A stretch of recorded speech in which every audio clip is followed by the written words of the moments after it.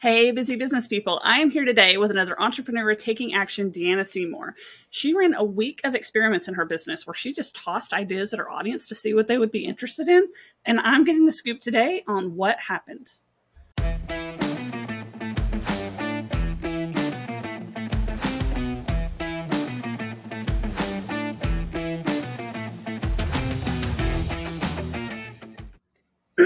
So to kick things off, okay, so like you threw a bunch of ideas at your audience on social and email. Let's put that into perspective just a little bit. Like how big was your social following and your email when you did this? Okay. Um so I just call myself a micro entrepreneur, right? Like I feel like micro breweries are hip, so I'm just like embracing my small numbers. So um and I guess they're not that small. Like I always tell myself what if what if all these people showed up at my house? I would be very overwhelmed. So, to answer your question, I have about 200 people on my email list and about 500 people follow me on Instagram.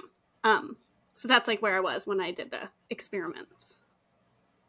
I like that though. Like if you had all these people in your house, how overwhelming. Yeah. That's a good way to look yeah, at it, right? Because I mean, they tell people all the time it's more about the quality than it is about the quantity on the list. And you can do cool things if you've got good quality yeah. and a small list because you can pay attention to everybody. So I love that. Yeah, it's true. It's um, true.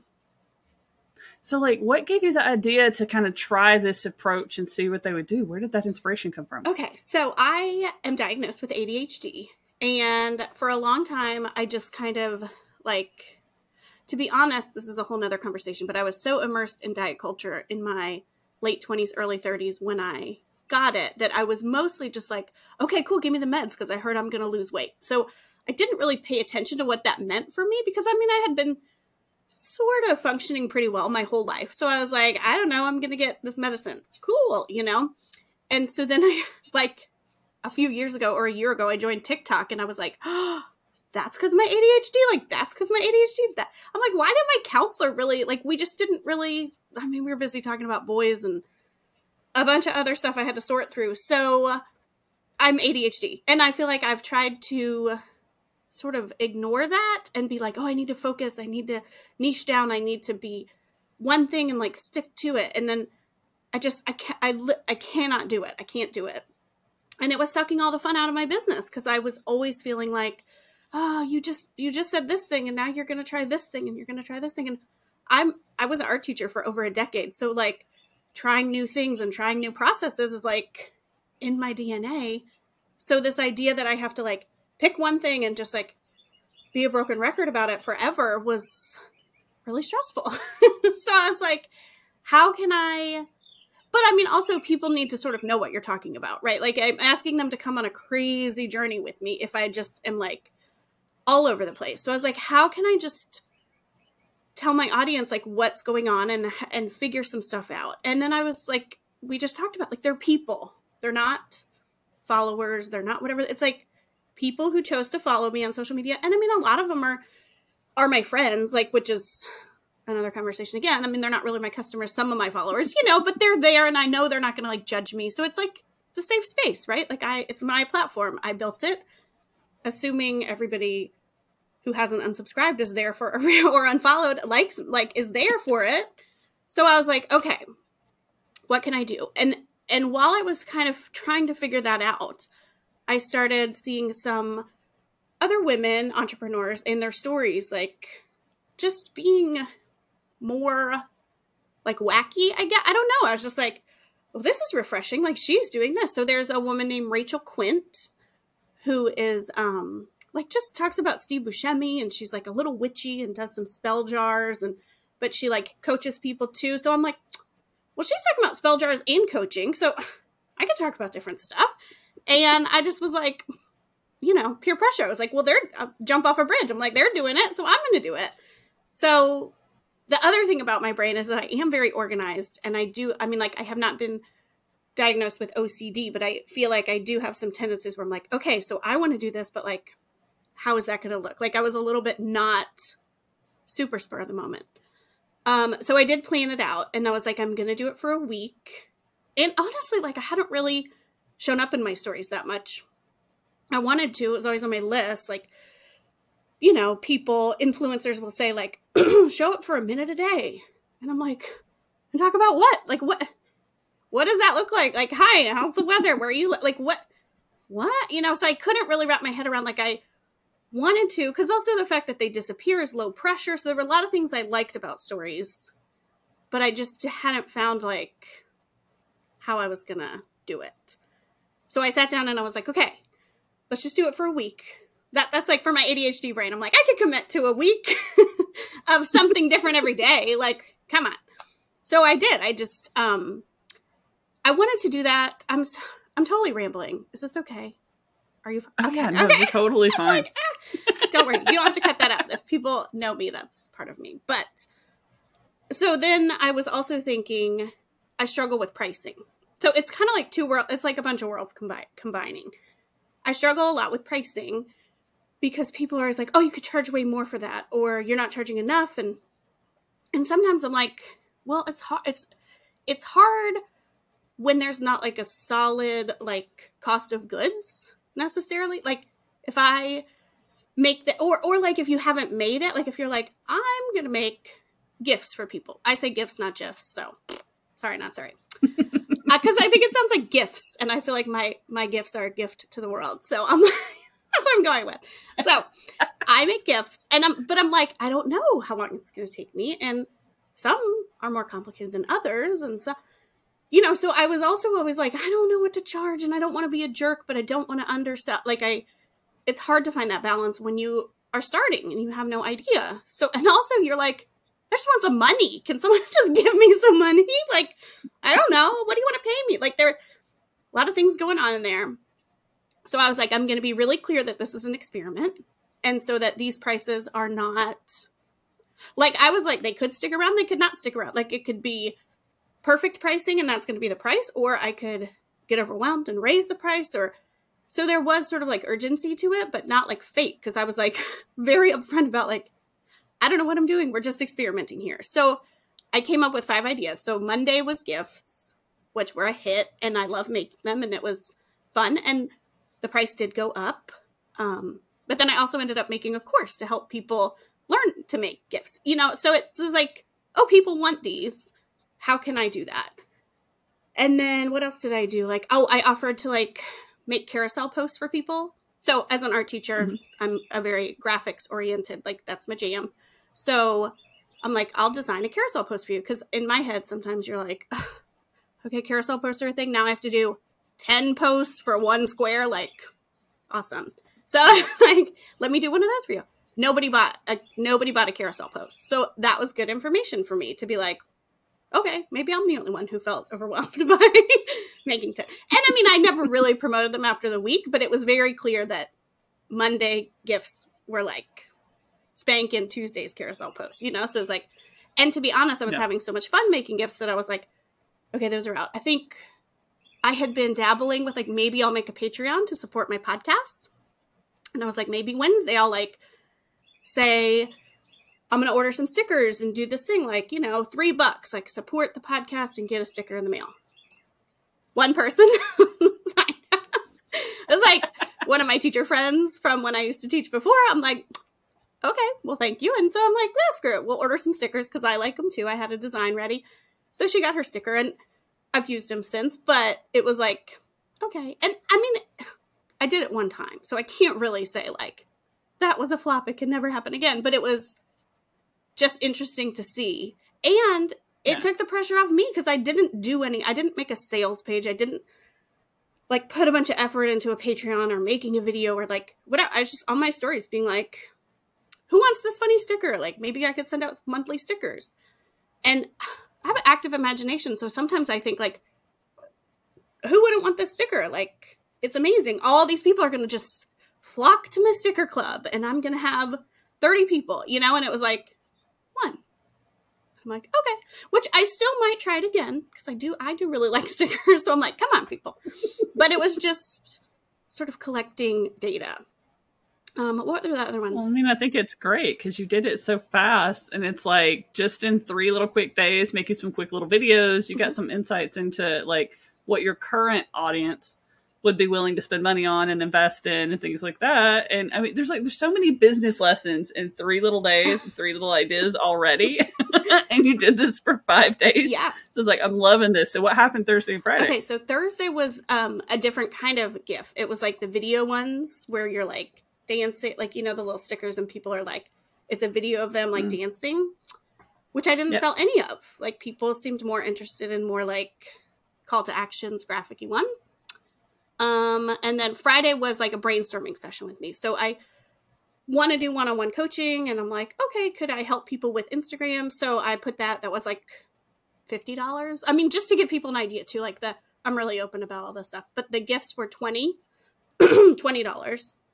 So I feel like people are mm-hmm. just like, not, give me that. I mean, what, I mean, nowadays it's like 20 bucks. It's like, what else? Which, and like I said, they did go up because I was like, okay, but I sold a lot of them. And up until that point, like I had been struggling so much with what to offer and trying to make everything look so perfect before I revealed it to the world that I really ha- hadn't made very much money at all in my business. So it was like really exciting for me to like, people were like, okay, I'll take five. I'm like, I just got a hundred dollars. Like, and I get to make five gifts. Like, okay, you know, somebody else like 140, like 80, you know, and I'm like, cha-ching, cha-ching. You know, I think I made like a thousand bucks that week or so. It was like more than I had made in my business. Like, I mean, ever. Like, I feel like nervous to say that because everybody's always bragging about how much money they make. And I'm like, ah. But it was really exciting. Yeah, but I mean, like, you didn't have to put a whole lot of effort in to do, like, the amount of time and energy that most people will put into building landing pages, putting together website pages, putting together little like paid ads and all that just to make a thousand dollars is insane. Yeah. You made quick little videos for like five days and just had a fun idea and you were authentic and you were real and you like let people into the messy middle. Yes. There's just so much value into doing that, I think. And so many entrepreneurs shy away from it. Yeah. Like they're afraid to let people know, like, oh, I'm not as, you know, I'm not this like huge thing or I'm not like, and they try and look and act much bigger, much different than what they really are. Yeah. It's a weird. people pick up on yeah, it. Yeah. Well, it's a weird, phenomenon it's a lot of pressure to do that because I feel like, you're supposed to like build authority and look like you know what you're doing and if not no one will buy from you because you'll look like you know whatever and i feel like the experiments too were it was nice to just like i used to make craft things like i would go to craft show like set up the pop-up tent like here's my stuffed monsters whatever whatever and that was very much like do you want this monster it's this much money yes or no you know and like a very yep tangible thing. So when I was just on there being like, I can make you this thing, I can make you a gift. And people were like, yeah, I'll take five. It felt like for the first time, I was like, oh, this is it. Because when it's too confusing and like lead magnets and Facebook ads and funnels and all this stuff, I'm like, okay, that seems really hard. But just saying, like, I like making these things and I can make you one. Would you like one? It's like, duh. like, part of me was like, oh yeah, I guess that's how it works. But yeah, I mean, you simplified it. You made it very clear. I mean, like I forget what guru said it, but they said a confused mind never buys mm-hmm, mm-hmm. because it's like there's too many choices. You know, it's kind of like when you want a late night snack and you run into your kitchen and it's right after grocery day and everything's restocked and you're like, oh my god, I want to eat everything and then like you end up either going for the simplest decision like i'm just going to grab a little bag of chips because it's a little bag of chips. It's already like portion controlled and everything. Or you end up not even getting anything. I can't tell you how many times i've walked into the kitchen to get a snack and like i walk away with no snack yeah. because there's too many choices. And it's the same way in business and it's like you really simplified it. Not only that but you said like hey i'm really good at this thing and I'm, i like doing this thing. Mm-hmm. And I feel like so many times we try and look for somebody who's so good at like a thousand different things, but it's like you're really good at Instagram and you know gifts for instagram. Mm-hmm. like why would you not hire that person who understands gifts for instagram to make you a gift for instagram? Yeah. Yeah. Well and i feel like people say like ask your audience and do whatever and even that sometimes you're you're just like asking question like it's and it's funny to me because i'm i just interrupted myself. I do that all the time but i'll get back to it. Um as an art teacher, I'm always like, just get started. Like to my students, I would be like, just start. You can't just sit in front of a blank paper. And my students would, especially in high school, probably the kids who didn't want to do it, were like, I'm thinking, I'm just thinking. And I'd be like, you can't just think and then all of a sudden like spew this masterpiece on the page like you need to start you're gonna probably throw away that but you know like we have newsprint paper cheap cheap thin newsprint you start and you do it and you keep doing it and you keep changing it and that's how you start you can't just sit and think. And i was definitely stuck in like worrying about you know and even pricing. It's like oh i don't know because $20 like what if it's too cheap? It's better to you know char- and charge your worth and all this all this talk around money and mindset. And Yep. i i was just like i think at the most i mean I don't- you know i was just kind of think i mean i hadn't made i've made some gifts for me but i don't know what people are going to ask me and that's where you get an analysis paralysis because you're like well, what if they ask me for this or what if what if they ask me for that you know some people just want their like podcast cover to wiggle that's a lot easier than like Yep. someone who wants uh Ferris Bueller's Day Off, and I want to because I'm an art teacher want to like hand draw on my iPad Ferris Bueller, you know, in his like leopard sweater vest. Like that one took longer, but it doesn't mean, you know, like honestly the the podcast cover wiggling is felt fine. You know, when I was drawing for an hour, I'm like, okay, I think we're we need to like figure stuff out, or there has to be tears. But it gave me more information, like even in the process of making it. Or how many times do people want me to re-edit them? That's time. How much does it like how much back and forth is there? Like because i oh yeah i have to ask people for their colors and their fonts and like things you don't think about until you're doing it but if you're only just sitting at your computer and your mind trying to guess what's going to happen you're like you're not going to think about it until you do it so that was all Yeah, that oh was all no, valuable I totally feel you. Yeah. yeah like I'm inspired already because like I run around and do a whole bunch of different things. Like I've got essentially four different businesses myself, and then my husband has two, and it's like it, it's just been because I'm like, oh, I want to do something new, and I know how to spin up a business because it's like I've been doing it for other people for years. Mhm. So I just spin up a whole nother business and put together a website in a day, and I have a whole little thing, and it's like, hi, here I am. I'm doing something new. And it's like one of the best advice somebody gave me around the pricing thing that just came to mind was like, especially with bigger things, to launch it with a beta price, which is basically what you did, Mhm. you know, but just to say, be clear that it's beta. Like, this is my, I'm testing, I'm trying to see what my final price needs to be. Yeah. I'm building something new that I'm offering. You're going to have to help me, like, make sure I'm doing it the right way and guide me. And it's going to be rough and bumpy edges, but like, you're going to get immense value out of it for less money. And let's run. yeah So it's like I've been testing that out myself, going that way.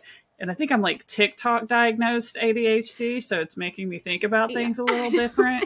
I keep Like telling my my, entire husband For You page. I keep telling my husband things. I'm like, that's why I do that. So it's my I know things. it's don't hold it. You can't. You literally cannot hold it against me. So that's why I'm doing that. And I learn new things all the time. I'm like, oh yeah, I don't open my mail, you know, and that drives my husband bonkers. And I'm like, just open it for me or do that. so, Yep. Oh, I'm the same way. It's like I keep sending him like TikTok videos and stuff all day long, being like, "Hey, look, that's why I do the thing. That's why I do that thing. That's why I do that thing." I'm like, "I am ADHD. I don't care. TikTok diagnosed me. It is real." I know. I think it is real, especially for women, right? Like, gr- like Mhm. grown up women right now, we just weren't diagnosed, and so I think all of us are like, hey, everything Yeah. makes sense now. Yeah, well, and like all the little coping mechanism thingies, like even for me to just sit here and listen and not interrupt on a podcast, I have two fidget rings oh yeah, that I'm sitting here fidgeting with. So it's like the things that you have to like. I'm just sitting here spinning these and trying to do it so quietly that the microphone doesn't pick it up. I've done that a few times, and I've like been playing with them so hard I've dropped them and thrown them in the floor. It's So- and it's just like that didn't happen. But yeah, no, I love so it's like such a very simple use case. And these I love this kind of stuff where it's like all of these really good things that everybody tries to teach you to do are happening in your little one week experiment. You know, it's mm-hmm. like be real about your audience. It's called a coming soon strategy, kind of like, hey, here's Yeah. something I'm thinking about doing. What do you guys think about it? Or like, are you interested in it before you actually go build the thing? Yeah. Like that's a really powerful strategy. A lot of people don't, you know, use like especially big things like courses and stuff I know. the amount of energy that people put into courses and it's like you built a course on the back end of somebody saying like hey we're really interested in doing the gifts Mhm. and it's like hey well you can pay me to do it or here's my course so it's like you got interest and knew that there was interest Mhm. before you put the energy into building a course Yeah, and it's funny you It's bring there's that up because there. I've done the thing too where you like try to sort of interview your person to get in their mind. And I've done I've done that like with a course and been like, "Oh, if you like identify as a stressed out mom or a business owner just starting or whatever." But it almost feels like you still don't really know exactly what to ask because it's just this like first meeting where you have an idea and you're like, would you say this? And the people are usually like, yeah, sure. Like I would say that, you know, but it's like they're not giving you money because the ultimate test is like, who wants to give me money for this? Because I do feel like, and I don't think anyone's trying like it's not malicious. They're just like, and I've done it. Like I've been like, yeah, that sounds like an awesome course. Like you're not going to add on. Like I mean, I don't want to buy it. I mean, it, it's good for someone else. Yeah. Like you're not going to add that on. So the real test is like toss it out there and see who like actually gives you money. I feel like I sound like I'm Mr. Wonderful in Shark Tank. I'm like, show me the money, like, like and I'm not, and it no, doesn't have to I mean, be expensive. It's true. Yeah, yeah, yeah. Yeah, like a beta price, and like I mean, you said. At least the beta And all price. you've got to have is like a are you interested sign up page, even. So it's like, this is how much I'm thinking about pricing it for. This is what it's going to be. Yeah. You know, oh, you know what? Sign up to be notified when it launches, yeah. and then you're good to go. I should give this tip too because I used a website called um, Ko-fi, which is like buy me a. Mm-hmm. It's like for a while, it was like, oh, I can't say GIF or GIF, and was it Ko-fi Coffee? What is it? Because it's like buy me a coffee, but it's K O dash F I, Ko-fi, which they said rhymes with no fee because it's like no fees, but like PayPal took a fee when I put it into my PayPal account, but people can go there and pay you money. So I didn't even have a sales page. I was just like on Instagram, I was like, you can go here to pay me. Like this will reserve your, you'll be in the queue for gifts or whatever. So it was an easy way too, where I didn't have to like learn Sam Samcart or Thrive Thrivecart or like, oh gosh, how do I take money from people? It was like super easy. And you just sign up for an account and I think you can pay like $6 a month and, and then they won't take any fees. But if you do it free, they'll take some fees. So even if you don't want to put up $6 in the beginning, but whatever, it was a really easy way. And I actually just linked it on my website. So it was deannaseymour.com slash pay me, which helped me work through my money stuff. Cause I do get like nervous to ask people for money, but I was like, let me make it kind of tongue in cheek to be like, you want these? You go to deannaseymour.com slash pay me and you pay me and I'll make them. So that was a really good tool for me to just easily set up and I didn't make any products. They just I just say it's a hundred bucks. And when they go there, they just type in a hundred bucks and and pay me. Literally pay me. So that was really good for getting over the the fear of all the systems too, right? Like every time you think you're gonna do one thing, it's like there's 15 things behind it that you're like, oh my gosh, now I have to make yep. a zap. Now I have to make a website. Now I have to go back to my email and tag them and send an email and so it was all on Instagram, like DMs and voice memos and just saying, go go give me money if you want this thing. So it was super, super laid back. I think that's very powerful because yeah, it's like so many people buy courses, they go through like training things, and they're like, "Oh, this sounds so easy," and then they sit down to do it, and it's like, "Y'all, you just don't know. Mm-mm. You just don't know." Like I've been doing all that stuff for so many years that it's like I see it. I'm like, "Oh, now you're gonna have to build a website. mm-hmm. Now you're gonna have to do Zapier. Mm-hmm. Yep. Now, oh no, there's there's email marketing platforms. Oh, now you're gonna have to set up SPF and DKIM records. And I'm yeah. like, and- y'all really think normal people can do this? Like I'm sitting here going through courses, mm-hmm. and it's like, why do you think normal people can do, can do? like you're sitting here telling them they've got to go do all this stuff, and like two years later, when they can finally get it all built, yes, maybe it'll work, maybe it won't. Yeah. You know, and everything you named costs money. You know what I mean? Like what you can have like five zaps for free. Yep. This morning I just deleted some zaps because I was like, all right, we we gotta get this down because we're not. I'm not. I everything. You know, the little calendar is like if you want to have more than one event, you gotta pay us. If you have this many subscribers, we're gonna charge you more. And so it's like, cha-ching, cha-ching, cha-ching. And if you're not bringing in money, like I wasn't, which I was a teacher, so I would kind of like it was like me spending like not getting a pedicure and paying for convert ConvertKit. you know, like I made it work but it was like, dang, I want to make some money. Like, how do I make money? But I do think we feel the pressure to look like people who've been doing it for years. Not only that, but also people who have teams, people who are like million dollar companies. Like, I would never be like, oh, I'm going to start an Etsy shop and think I'm Jeff Bezos.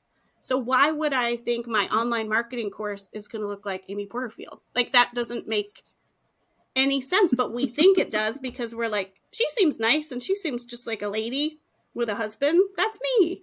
I'll be like her. But it's not. There's like a whole team. So it's it's tricky and I think it's fun to just embrace the like I'm just here.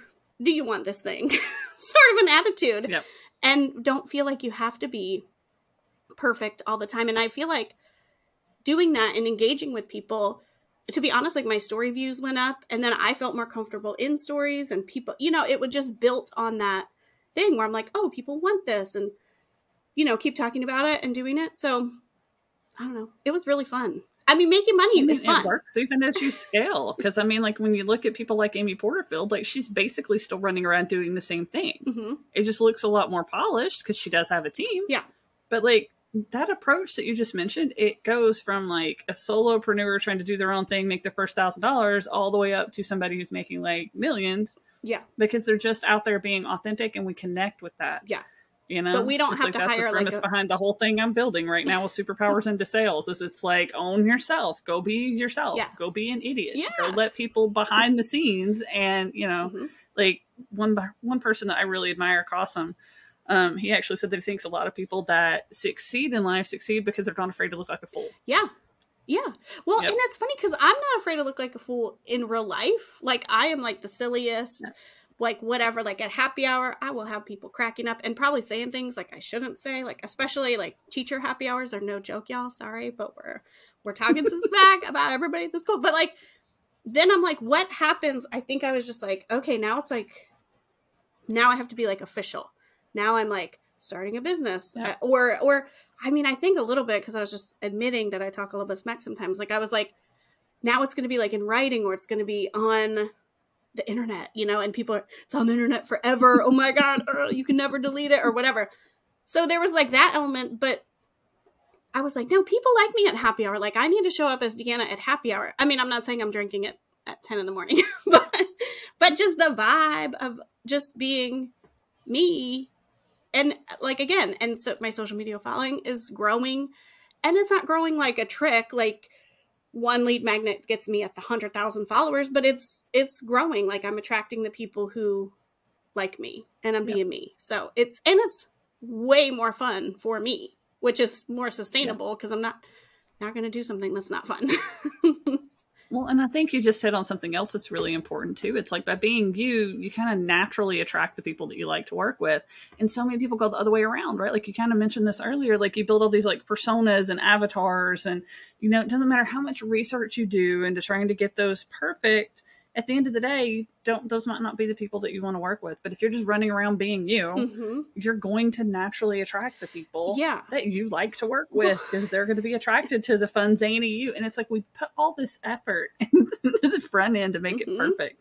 It's something even i'm trying to get better at is just embracing the messy middle. Like i was on a podcast the other day and the dog started barking and i was just like you know what? I'm not even gonna i'm not even gonna edit this out. I'm like guys this is life. Yeah. Because like i'm encouraging other people to be crazy and free Yeah. and just whatever so like And if people hate dogs, they it. can go away. No, I'm just then get out of here. but um, shoot, I had something for like two seconds. Um, showing up as myself. Fun. I don't know. It went away. Um, i do that all the time sorry. Maybe it'll come back. me. apparently that's why us adhd people interrupt people all the time because we'll lose the thought if we don't No, it's like survival of the fittest. We're like, wait, Yep, I have and something. like- ah, what was it? and you have to like sit there and repeat it in your head. I know, over I'm and like, over what and were over you again, saying? and then like you can't pay attention to the conversation because it's like just zooming in your head, and it's like, oh, yes, it's like there. I need like a mental sticky note where I can be like, okay, and then I can find it again later. yes, But absolutely. yeah, I haven't found that yet, so I keep paper and pen next to me at all times. But then it's kind of rude to be like, Hold on, let me jot this down. right. well, I know I've kept you for almost thirty minutes now, so um. Okay, so I know we've talked a little bit about some of your superpowers, kind of what how you utilize them to help people on Instagram and things like that. Do you have any like final advice or tips that you want to share with everybody? Yes. I also just remembered what I was going to say. Do you want to hear it or no?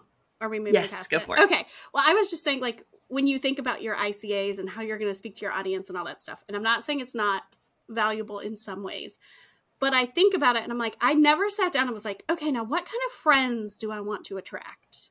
How do I need to act? What do I need to say? How do I need to present myself to to attract the right kind of friends?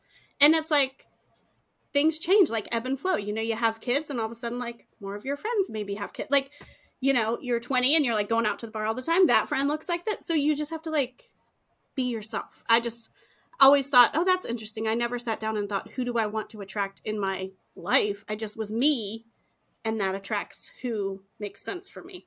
So I just think that's good advice too. Just be yourself. But now that I was thinking about that, you have to ask that question again that you just asked me because I was excited to say that. I was just asking if you had any final advice or tips, and that's actually a really good tip. Yeah, so cool. it worked. Yay.